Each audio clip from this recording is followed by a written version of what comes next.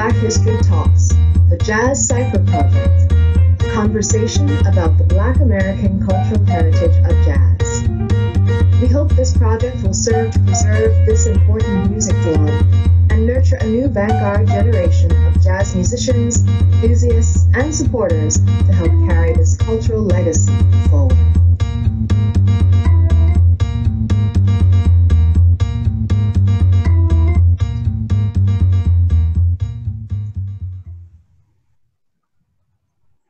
Welcome, welcome. Welcome to the third, actually, uh, Black History Talks, the Jazz Cypher Project. Uh, today's uh, today's program, we are uh, invite we are welcoming a special guest, uh, Ms. Carla Cook, jazz vocalist, and uh, we are your co-hosts, Lafayette Harris, jazz pianist, and myself, Antoinette Jones. Uh, in this particular session, we are focusing on women in jazz and uh, looking back in history at the origins and what women were doing and how women co uh, contributed. We'll learn about um, three individuals and we hope you join the conversation after that. Uh, and yeah, we're really excited that you're here with us. So we do have uh, one question and uh, let me come back onto the screen with you. Thank you for joining us. Um, our question is how, how did women contribute to jazz in the past? And uh, Lafayette Harris is going to help us with that uh, at this point. So Mr. Harris, if you would take it away.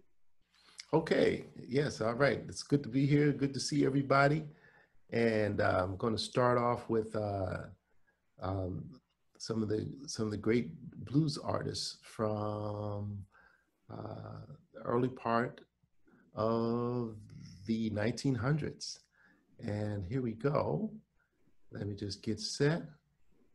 And I'm going to share my screen with you all.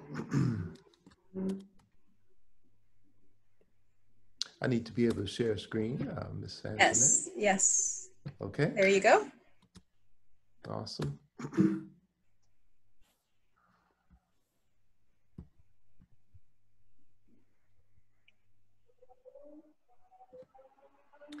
All right. So the first of these ladies is uh, Miss Mamie Smith. Mamie Smith, um, born in 1891, and she happened to be the first black female to record for uh, a label. And um, we're, we're celebrating, we should be celebrating 100 years because not only did, uh, was suffragist, suffrage movement passed, um, uh, was passed in 1919, but the, uh, it was ratified in 1920. And that was also the year that Miss um, Mamie Smith recorded the Crazy Blues, in 1920. So we're celebrating 100 years of two great things. Um, it was a song written by Mr. Perry Bradford, who was an African-American musician, composer, and uh, um, networker. And he, and he brought her to the attention of Okeh Records, uh, which was a um, label um, founded by, um, I want to say a German American. And, and Mamie Smith was born in Cincinnati, Ohio, of the three ladies, she going to be the only one we talk about that was actually born in the North. Uh, they called her the Queen of the Blues. Uh, that first record sold over a million copies in the first within the first year, and it was brought by it was bought by a lot of blacks, and that helped popularize race records. It was just a market of records, a market geared towards the dollars and cents of African Americans. So here we go. Check this out.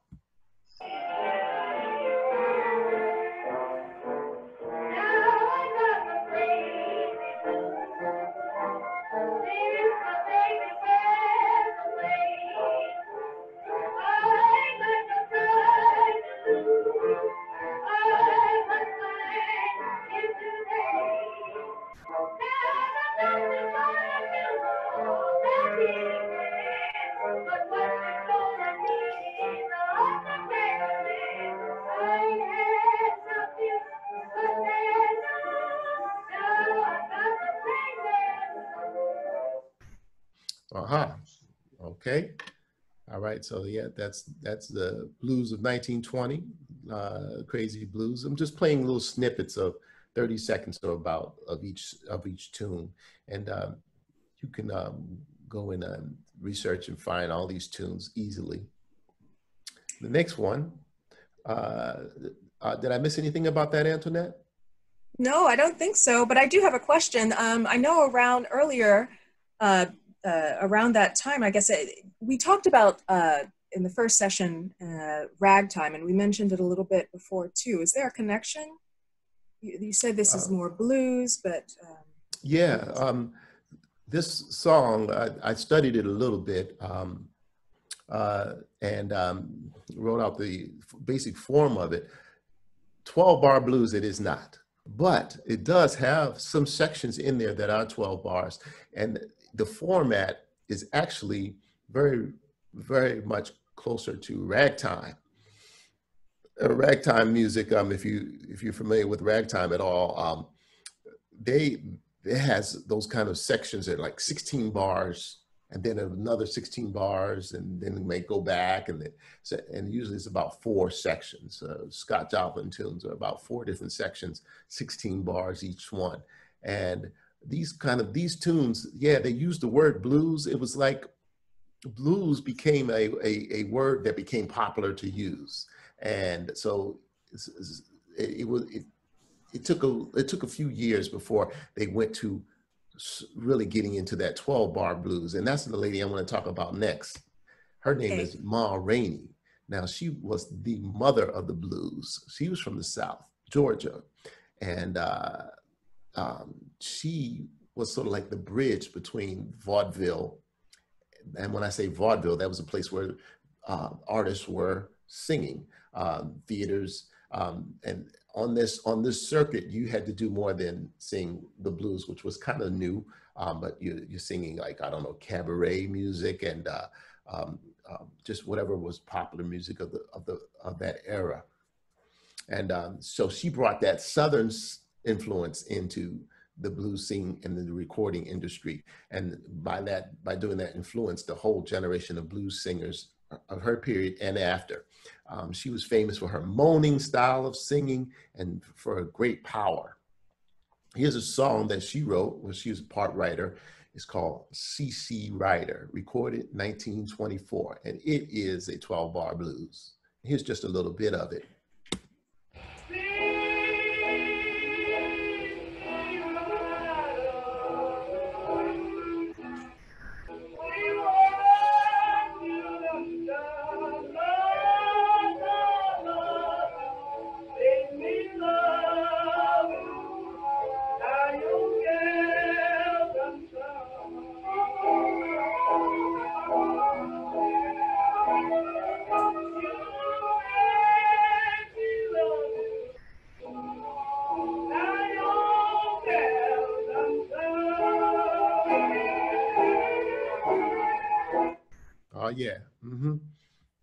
So yeah, you see that more down home kind of flavor was coming into the music. Well, I, I see it. Uh, so um, yeah. Did people dance to this music?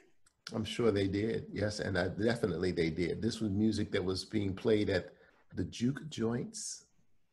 Um, uh, if you don't know what the juke joint is, out in the woods, um, black folks would go out and have and set up a a place where they can uh, drink and put a some kind of floor down so that they can dance and um, just have a good time. And uh, it was a very important thing to uh, place. It was a release. Mm-hmm.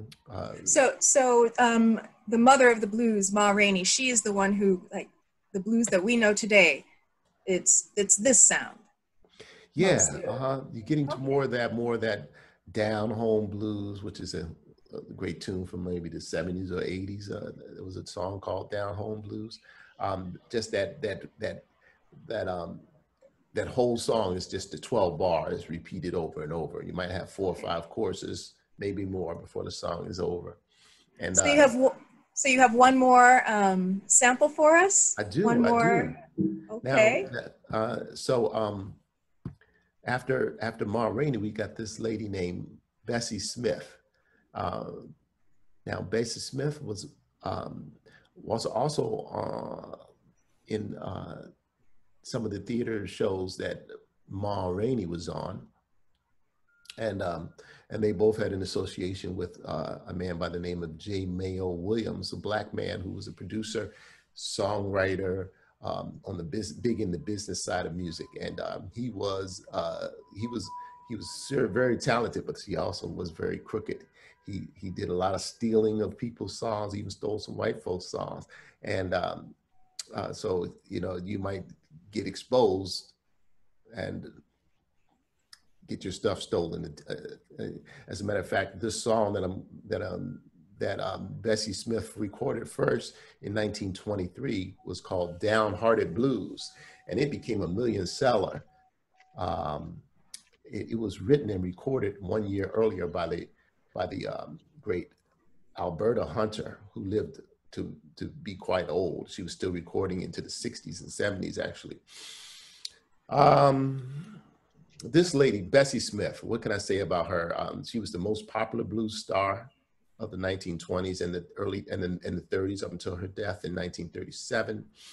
Um, she had enormous influence on the blues singers of the day and jazz singers to come. She um, was in a very bad car accident in 1937. That's what took her life. Um, I'm not going to play a blues, um, but I'm going to play something else that uh, she sang. This is a uh, Alexander's Ragtime Band. Here we go.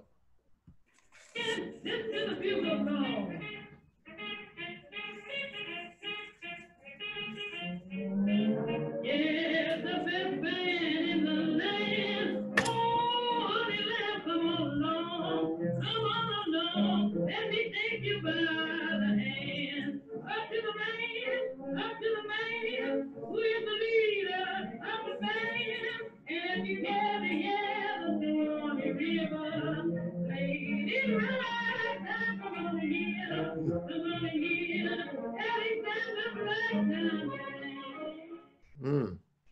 Yeah, yeah, and I, I, just love her singing and I love her performance. I could listen to that all day.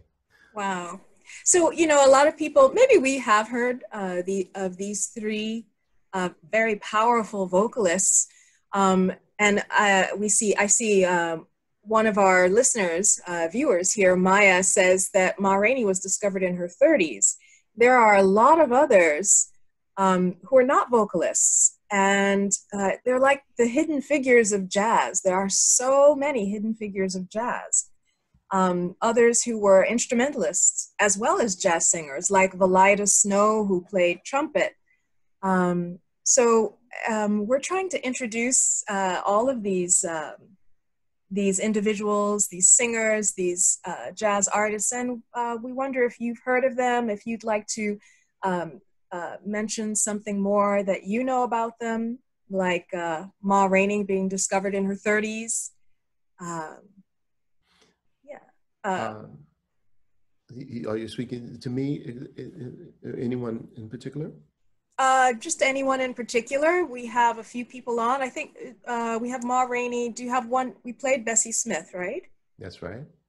So, um, well, yeah, are there so any Ma questions Rainey. about about the uh, the three that we've mentioned. Yeah, I mean, she was already had already been on the scene for a while by the time uh, uh, she came to New York and and, and started recording. Um, well, this one, I see this. Um, so if she was born in 1896, so another 14 years plus. Uh, yeah, that would be. Uh, um, uh, she'd be 30. And 30 was is it 38? Yeah. Mm-hmm. Okay. Yeah. I, I have a question from Anthony. He says, is, is, uh, is she the first to record Alexander, uh, Alexander's, Alexander's Ragtime, Ragtime Band? Band? Um, Bessie, I don't think so. No, uh-uh, I don't think so. I think, I think um, it's definitely a cover. And uh, yeah, 1927 was pretty early, but um, it, it, it probably had been recorded at least by the uh, people who, who had uh, uh, composed it and uh, I don't know when it was first recorded. Yeah. Okay. And uh, some might think we see Bessie Smith and we see um, uh, Mamie Smith, were they related? Were they sisters? No, uh-uh. But you know, there seemed to be a lot of Smiths. You know, I even went through my yearbook today, and I was amazed at how many Smiths there were. I think maybe Mamie Smith's uh, maiden name is Robinson. I, I think that's right. Mamie Smith. Mamie Robinson. Um, and her husband, uh, she married Smith. I believe that was it. Hmm. But they they they're such power powerhouse singers. They contributed a lot. I wonder if there are singers today who um, were heavily influenced by any of these uh, three women that you present here, or even some of the singers that come after, like Sarah Vaughan, Dinah Washington. Um, Bessie definitely influenced Billie Holiday. mhm. Um, and uh, the um, well, so like Bessie was still recording in the 30s. Billie Holiday's first record was actually in recorded in 1933. Um, so um, yeah, and she was of course very young. So um, Bessie Smith's um, record producers at that time were trying to get her to do that new sound, the, to do the new jazz sound. But uh, you know, so uh, yeah, we got any, we I would love to get some more questions from the from the. Uh, All right. Uh, do you want me to people. open up the gallery and we can just chat here? I- So I you got- can stop and sharing your and- screen, I guess. And my my my nephew's on, Mr. Nick Harris.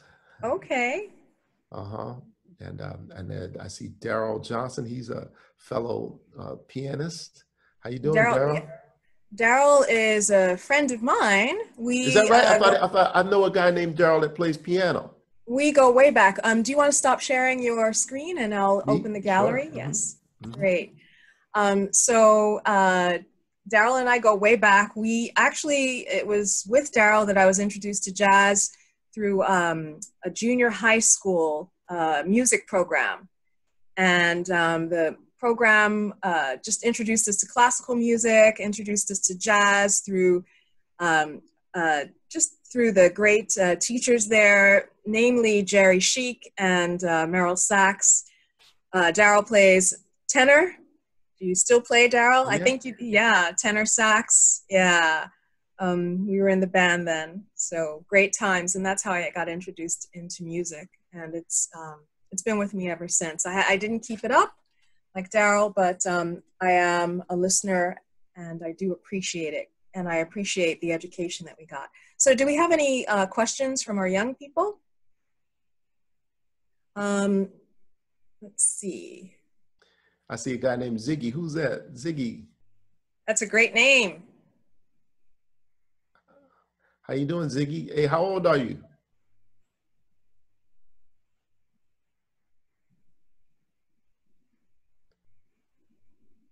It is my mom's name. Ooh, Okay. Okay. So I would ask the young people, can you, you heard this music, um, and it's pretty old, I suppose it's pretty old to you. It doesn't sound like today's music.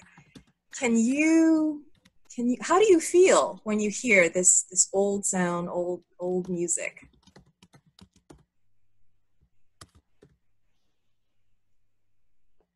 How do you feel when you hear this old music? Noah, Rome, Does it feel comfortable? Do you feel like, oh, I could listen to this?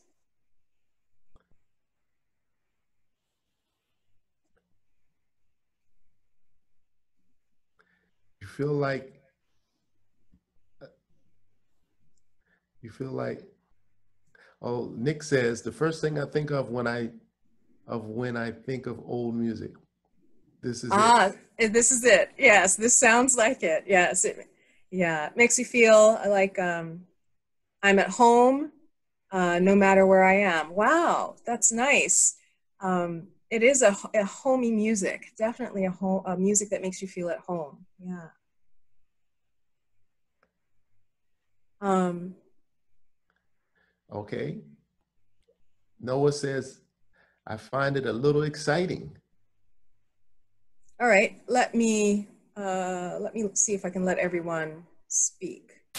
Uh, let me see, because there there aren't a lot of us on here.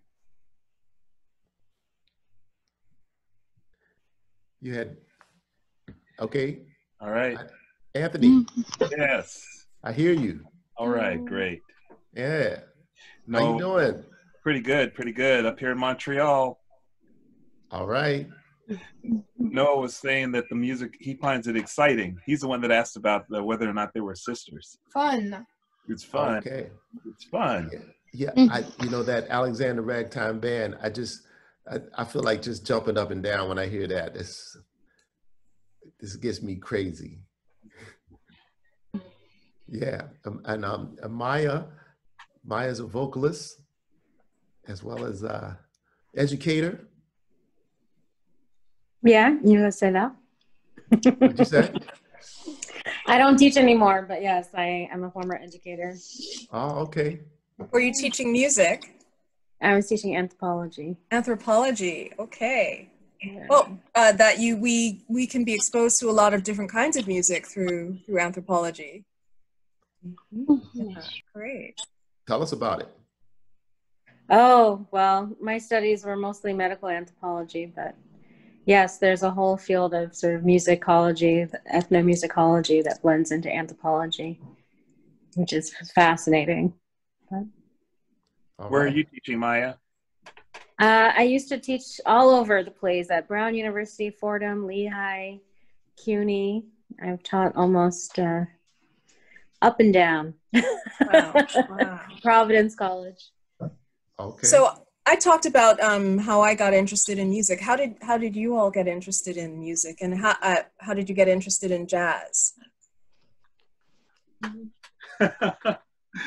Say that again, Noah. I was forced into music. okay. I, Good. I've witnessed I've witnessed some of those l- lessons. Your well, father used to wake you up in the morning. He made you practice before you went to school.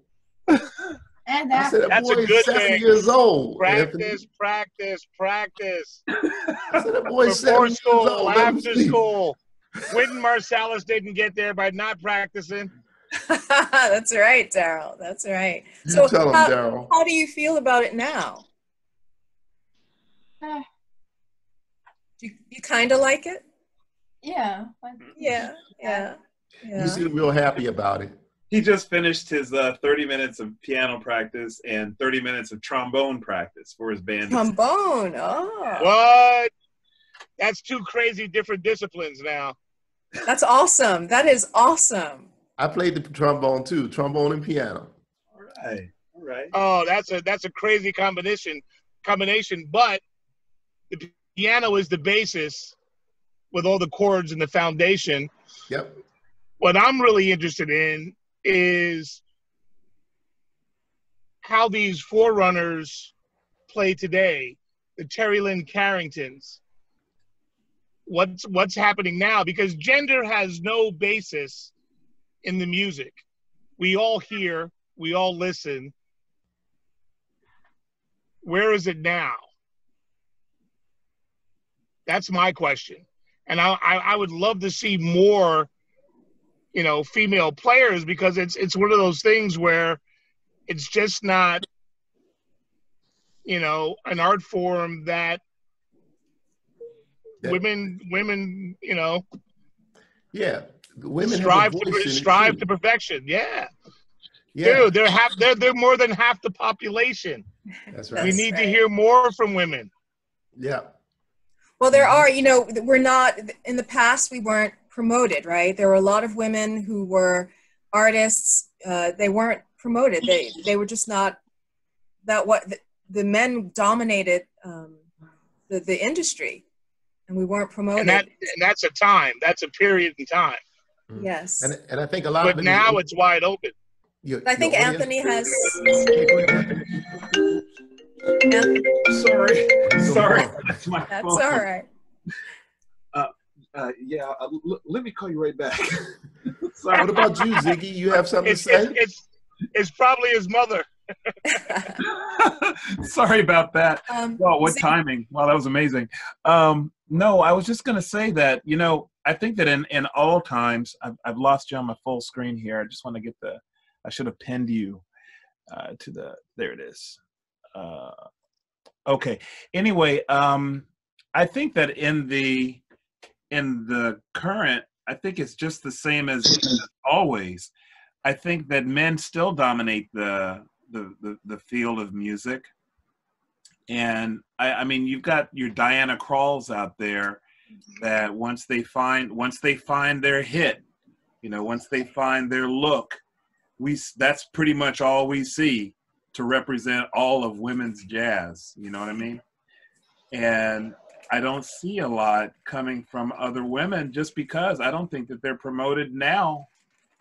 eh, Just like I don't think they were promoted that much then. I think it's mainly men that because that's the money. Yeah. And then, and and for you two ladies, my question is, do you do you want to see more women performing, playing instruments, playing playing playing being saxophone players and and um, pianists and bass players, or or or are you more comfortable seeing men do that and then maybe seeing the lady come out and sing? I would love, I love it. I mean, we have Cindy Blackman who uh, played drums. Um, Brandee Younger is a young uh, jazz harpist. Uh, she's coming up in the ranks as well, uh, fairly uh, well known in this area. She's from Long Island, Hempstead, Uniondale area. Um, then we have like the crossover into the contemporary music, like uh, Esperanza Spalding.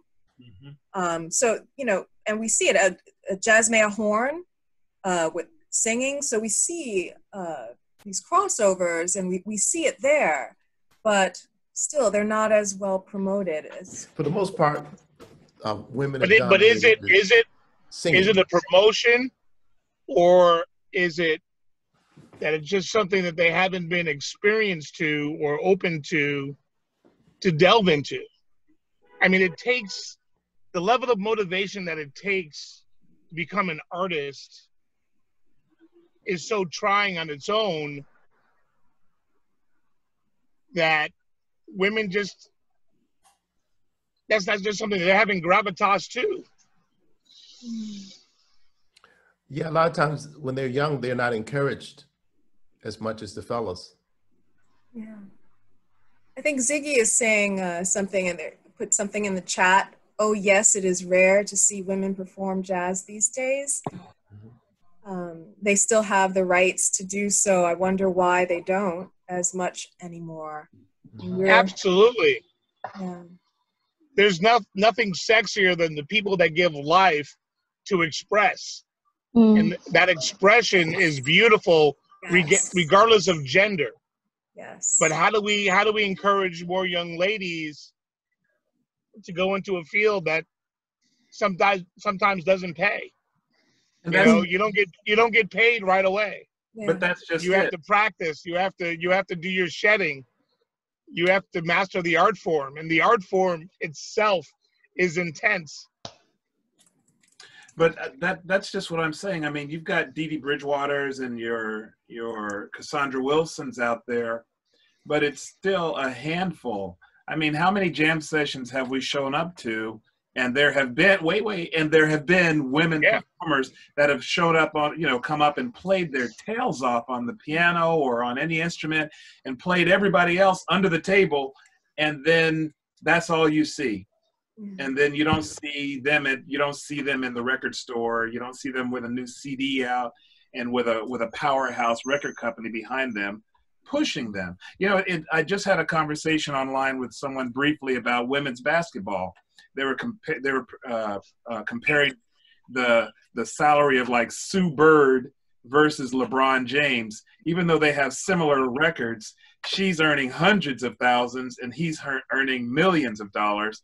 And the thing is, men's basketball gets so much press and so much media coverage and so much advertising and such, and eyes in you know on the viewership and butts in the seats at the games, whereas the women's NBA doesn't have that kind that that reflective uh, uh, uh, viewership to put the money into Sue Bird's pocket. So likewise for women in jazz, I think that there would be many more women in jazz if it exactly what you just said if it paid, and that's just there would be more men in jazz if it paid. You know, everybody wants to do something and get paid for it. I mean, I don't see many women or anybody wanting to go out there and just be a sacrificial lamb, just doing it for the love of doing it. You know what I mean? Yeah, Maya says that there's a, a lot of people are discouraged. Yeah, but yeah, uh, the industry reflects other industries, just as you've you've mentioned. You know, What, what was that? Uh, people are discouraged? yes, Maya said that women are discouraged uh, to to go into it professionally. Uh-huh. Um, yeah, but for well, this- that's from my personal experience. I was discouraged in high school, although I was playing multiple jazz instruments and band and private lessons with um, Clifford Adams Jr. on trombone. But, um, well, Clifford Adams Jr. did um, encourage me. Um, but my high school band teacher said there's no room for women in jazz on Wow. Sax. See there? So might as well be a vocalist. That's an Wow. awful teacher. You see Yeah. there? That's a bad teacher. Be a vocalist. Fit into Yeah, that. yeah. Fit into that thimble. You know, because the only women that do jazz are singers. And that Mm, that's just not. it's You know, true. No. But it's not to discount singing because singers have a lot No, going sure, on. for sure. across and- Yeah, that's true. Yeah. But that's so. Um, but that's such a stereotypical image. Mm. But then the other thing is also cost. I mean, um, Did you say cost? yes, because instruments are expensive. So Yeah. once you're out of K through 12 education, you know, you, you get all these instruments for free, basically the use of them, and then you have when you graduate, you have to give them back. Yeah. Yeah. that's So- right. I That's right. feel like um, I think money and finances is part of it. Mm. Uh-huh. And you think maybe the families, um, if they have a choice, if they have a son that's playing and they have a daughter that's playing, they they they'll they'll spend money on the son's instrument, but maybe not on the daughter's. Right. Probably. But that's still based off of talent. If you're a virtuoso, I Mhm. mean, Tony and I went to performing arts in uh, in New York, and we were surrounded by virtuosos. If you're a virtuoso, you're gonna make it, regardless of gender. Um, so you have to just you have to stay at it. But Yeah. there's definitely a bias, you know. Towards men. Exactly. Because There it. just take a take uh, the jazz artist uh, Hiromi, you know, uh, the the pianist, the jazz pianist, Okay. And then one of the one of the newest uh, voices on the scene. I say voice meaning uh, talents on the scene is Jacob Collier. He, Yes. he's a name that we've we've become familiar with in, within the last few years, and he's practically a Berk, he's practically a college graduate, and he's very young. And the free instruments that you were talking about that we have from Oh. K-12, I'm sure that those free instruments are going to Jacob Collier. But what if we had a Absolutely. what if we had a female artist that is just as talented? Where are the female versions of Jacob Collier? Why did he hit so big when he's a male? Are you telling me that there are no females anywhere in their own rooms doing music like um like the uh, what, what's what's that singer's name that you like? Um, she's um, oh she made those songs in a room with her brother, the pop singer. Billie Eilish. Billie Eilish. Billie Eilish. Billie yeah, Eilish. Yeah. Yeah. See, on the pop side, she's very similar to Jacob Collier, only she's doing it by pop. She just hit on the pop scene, but Jacob Collier, he's gone through all this, you know, he's gone through all his education and all of that stuff, and he's hitting huge in jazz in that in that realm. You know, you, you understand what I'm saying? Gotcha. we we basically need the next Joey Alexander to be female and blow the roof off. It's just a gender bias. It's hmm. just a simple gender bias. Okay. There are mothers, there are sisters, there are cousins, but yet they can't be rocket scientists. They are. They can't be fighter pilots. They are. They can be jazz musicians. They just need the opportunity. But let's face it, families in the black diaspora are like any other diaspora. Go where the money is. Uh, yeah, and that is that is that is definitely the last. Yeah, that's the word. And go where the money is. But, you know, we need to be value everybody and put money somewhere so that more of us can uh, engage in this. And we're just about out of time for this, but this is an engaging conversation that needs to continue so that we can see more, uh, more young women, more young African American women, more more of us in jazz and and um, taking it full advantage of the legacy that has been left to this country and to our people. So on that note, I thank you all. I invite you to the next uh, Jazz Cypher Project session. We uh, record 30 minutes uh, every week. So if you have time, drop by. I'll send a note. It was great seeing you all. Thank you so much. Thank you. Thank you, everybody. Thank, Thank you. you. All righty. Take care. Take care. I gotta call that guy back. you better call him back. yeah, yeah. Thanks Come on, so you know it was your mama. You know it was your mama. Call your mama back.